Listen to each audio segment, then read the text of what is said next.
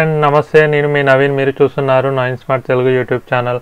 So ఈరోజు నేను మీకు పిఎస్సిఎల్ అది సెబీ పిఎస్సిఎల్ అప్లై చేసిన వాళ్ళు ఉంటారు కదా సో వాళ్ళకి పేమెంట్ పడిందా లేదా అనేది ఎలా చెక్ చేసుకోవాలో చూపిస్తాను. సో అప్లై చేయని వాళ్ళకైతే ఇది చూపించదు అప్లై చేసిన వాళ్ళకే చూపిస్తుంది.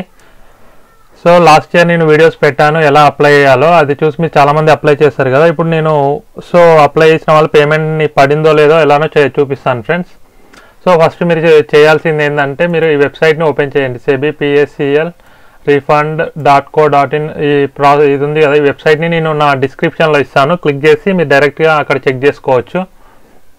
సో మీరు నా ఛానల్ కొత్త యూజర్ అయితే నా ఛానల్ని సబ్స్క్రైబ్ చేసుకోండి ఫ్రెండ్స్. అలానే బెల్ ఐకాన్ ఉంటుంది దాన్ని క్లిక్ చేయండి. మరిన్ని నేను ఒకవేళ ఇంకా ఏమన్నా పిఎస్ సెబీ పిఎస్సిఎల్ వాళ్ళు ఏమన్నా నోటిఫికేషన్స్ పెడితే నేను చెప్తాను. సో ఇప్పుడు మనం అది ఎలా చెక్ చేయాలో చూపిస్తాను ఫ్రెండ్స్. ఫస్ట్ మీరు ఈ వెబ్సైట్ అనేది ఓపెన్ చేయండి. ఈ లింక్ నేను డిస్క్రిప్షన్లో ఇస్తాను. సో తర్వాత ఇక్కడ ఏమడిగిందంటే మనకి పిఎస్సిఎల్ సర్టిఫికేట్ నెంబర్ అని ఉంది కదా. సో ఇది పిఎస్సిఎల్ సర్టిఫికేట్ నెంబర్ అనేది మనం ఎంటర్ చేయాలి ఇక్కడ. మీ దగ్గర ఉంటుంది దాంట్లో సర్టిఫికేట్లో. తర్వాత ఇక్కడ క్యాప్చా అంటే కింద ఉన్నది ఇక్కడ ఎంటర్ చేసేస్తే సరిపోతుంది. సో నేను చూపిస్తాను ఇప్పుడు. ఇది PSCL certificate number. U one three one three two five double three six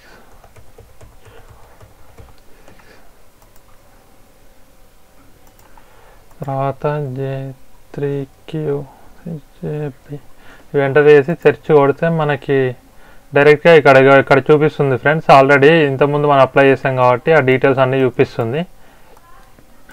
so ఇలా సో నేను నా అంటే మా ఫాదర్ది వచ్చేసి టోటల్ అమౌంట్ వచ్చేసి seventy seven thousand two twenty pay చేశారు అప్పుడు. సో మాకు ఇంకా రీఫండ్ అనేది ఎలిజిబుల్ కాలేదు. ఎందుకంటే వీళ్ళు ఏం చేశారంటే ఇక్కడ ఉంది ఇప్పుడు claim application status your application could not be processed at this stage you may wait notification in this regard so మనం ఇంకా వెయిట్ చేయాల్సి వస్తుంది. ఎక్కువ అమౌంట్ ఉన్న వాళ్ళకైతే కంపల్సరీగా వెయిట్ చేయాల్సి వస్తుంది. ఇంకా వాళ్ళు తర్వాత చెప్తారు నోటిఫికేషన్ ద్వారా ఇంకా.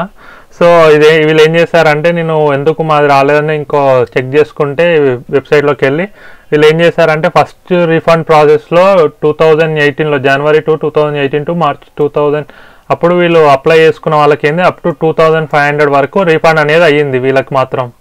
అంటే అప్ టు అంటే two thousand five hundred pay చేశారు కదా వాళ్ళకి వరకు రీఫండ్ అయితే అయ్యింది. తర్వాత ఈ సెకండ్ ప్రాసెస్లో మనం ఎప్పుడు ఫిబ్రవరి ఎయిట్ నుంచి జూలై థర్టీ ఫస్ట్ వరకు ఇచ్చాడు కదా వీళ్ళకి ఏంటంటే సెకండ్ రీఫండ్ ప్రాసెస్ అంటే అందరు అప్లై చేశారు ఇందులో. అందరు అప్లై చేసే వరకు ఇక్కడ ఏంటంటే amount up to five thousand five thousand వరకు పే చేసిన వాళ్ళు ఉంటారు కదా వాళ్ళకి మాత్రమే రీఫండ్ అనేది ఇచ్చాడు. ఆ ఫైవ్ థౌజండ్ అబోవ్ ఉన్న వాళ్ళకి రీఫండ్ అనేది ఇంకా రాలేదు. సో మనం అబోవ్ ఉన్న వాళ్ళైతే ఇంకా వెయిట్ చేయాల్సి వస్తుంది. సో ఫైవ్ థౌజండ్ నుంచి ఫైవ్ థౌజండ్ వరకు లోపల అమౌంట్ ఉన్న వాళ్ళకైతే రీఫండ్ అయితే వచ్చేసింది. ఒకవేళ మీకు రాలేదంటే మేబీ ఈ ప్రాబ్లమ్స్ అయితే ఉండొచ్చు. ఇక్కడ ఇచ్చాడు. మీరు ఏం చేశారంటే ఈ ల్యాండ్ అలొకేటర్ ఫీల్డ్ దగ్గర ఎస్ మార్క్ పెట్టిన వాళ్ళకి ఏమైనా అక్కడ అలా పెట్టిన వాళ్ళకి రాలేదు అనుకుంటా. ఇంకోటి వచ్చేసి ఆల్రెడీ అమౌంట్ పేడ్ బర్ పిఎస్సిఎల్ అది observe from the claim status in PSCL date database already last time apply చేసిన వాళ్ళు కొంతమంది అప్లై చేసి ఉంటారు కదా వాళ్ళకి కూడా రాన రాదని చెప్తున్నాడు. ఇక్కడ already paid for SEBI in the first refund process ఒకవేళ ఇన్కరెక్ట్ పిఎస్సిఎల్ నెంబర్ లేకపోతే అప్లోడ్ చేసిన సర్టిఫికేట్స్ ఇట్లా రాంగ్ ఉండడం వల్ల so bank account details correct ఇవ్వడం వల్ల వాళ్ళకి రాలేదు. కొంతమందికి ఏమో బ్యాంక్ యొక్క నేము ప్లస్ పిఎస్సిఎల్లో నేమ్ మ్యాచ్ అవ్వకపోయినా కూడా వాళ్ళకు కూడా పంపించలేదు అన్నట్టు. సో కొన్ని ప్రాబ్లమ్స్ అప్లోడ్ చేసేటప్పుడు కొన్ని పెట్టుంటారు కదా. సో వాళ్ళకైతే రీఫండ్ అయితే రాలేదు. అప్ టు ఫైవ్ థౌజండ్ లోపల ఉన్న వాళ్ళకి మాత్రమే. సో మిగతా వాళ్ళు అన్ని కరెక్ట్ డీటెయిల్స్ ఇచ్చిన ఇచ్చిన వాళ్ళు ఫైవ్ థౌజండ్ లోపల పే పే చేసిన వాళ్ళకి మాత్రం రిఫండ్ అయితే వచ్చేసింది.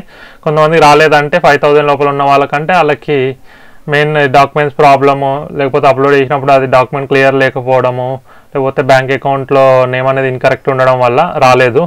సో దానివల్ల రాకపోవచ్చు. సో ఫర్దర్గా ఇంకా వీళ్ళు నోటిఫికేషన్ ఏమైనా పెడితే అప్పుడు నేను ఇంకా చెప్తాను. దాని తర్వాత ప్రాసెస్ ఏంది అనేది మళ్ళీ ఇయర్ ఏం పెట్టొచ్చేమో మళ్ళీ. పెడితే నేను మళ్ళీ మీకు ఇన్ఫామ్ చేస్తాను ఫ్రెండ్స్ సో ఇలా మీరు మీ యొక్క రీఫండ్ ప్రాసెస్ని చెక్ చేసుకోవచ్చు. ఇంకా ఫైవ్ థౌజండ్ ఎబోవ్ ఉన్న అమౌంట్ వాళ్ళకైతే ఇంకా రీఫండ్ ప్రాసెస్ అయితే స్టార్ట్ కాలేదు. స్టార్ట్ అయినాక నేను మళ్ళీ వీడియో తీసి పెడతాను ఫ్రెండ్స్. సో ఇలా మీరు మీ రీఫండ్ ప్రాసెస్ చెక్ చేసుకోండి. సో థ్యాంక్స్ ఫర్ వాచింగ్ జై హింద్.